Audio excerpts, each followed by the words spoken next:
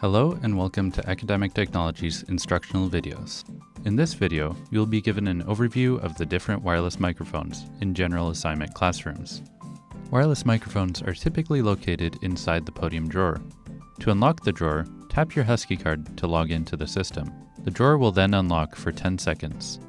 If you wish to reopen the drawer, simply tap your Husky card again and it will open for another 10 seconds. Some podium rooms will require a technology key to unlock the drawer. If you do not have a key, you may check out a technology key from our office in Kane Hall. We are located in the basement floor, room 035. Further contact details will be provided at the end of this video. In rooms where there is not a podium drawer, the mic may be in a technology closet.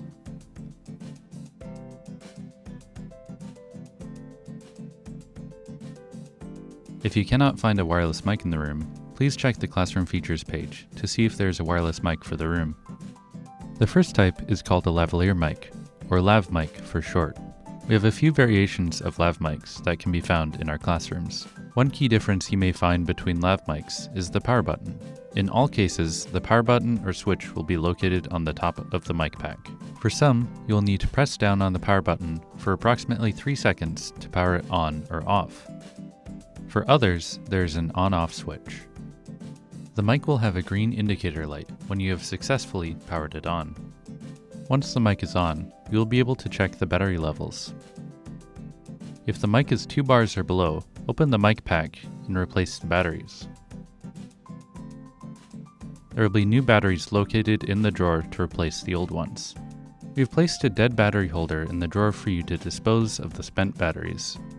Once you have verified the mic is ready for use, Attach the mic clip to the top of your shirt, ensuring it is well centered and facing upwards towards your face. To help position the mic, you can rotate the mic clip to fit your needs. If you're unable to position the mic in the center of your shirt, place it on your shoulder in the direction you intend to present.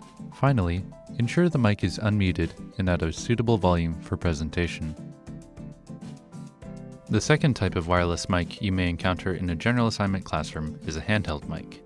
Some handheld mics have a switch to power on, and others you will need to press a button for 3 seconds to turn it on. The screen on the handheld mic will light up when it is powered on successfully.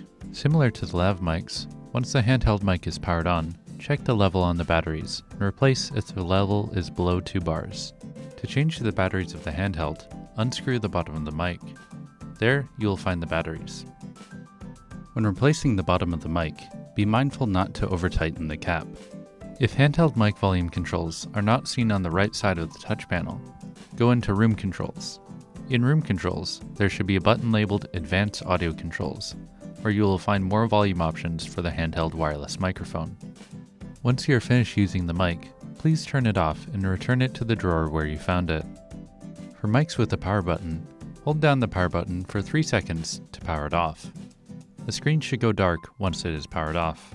If the wireless mic shows an orange indicator light after you've pressed down the power button, it is muted and you will need to hold the power button down longer to completely power it off.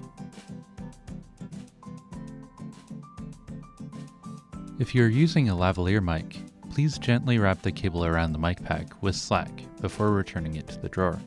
If you encountered any issues with the wireless microphones, try the following troubleshooting steps. Ensure that they are unmuted and have enough battery power some lav mics have a switch on the right side of the microphone. Ensure that it is set to mic. If the mic cable is found to be unplugged from the mic pack, please plug it back in. To do so, locate the notch inside of the mic cable port. Align the notch with the button on the mic cable. Then, push the cable straight into the port without twisting. You may find threading on the mic cable port, but this is not to lock the cable in place. Attempting to twist the cable can damage the microphone. If you're concerned about damaging the mic pack, please contact us. If you're still experiencing issues, please contact us at help at uw.edu. Call us at 206 221 5000 or come to our office in Kane Hall Room 035 for further assistance.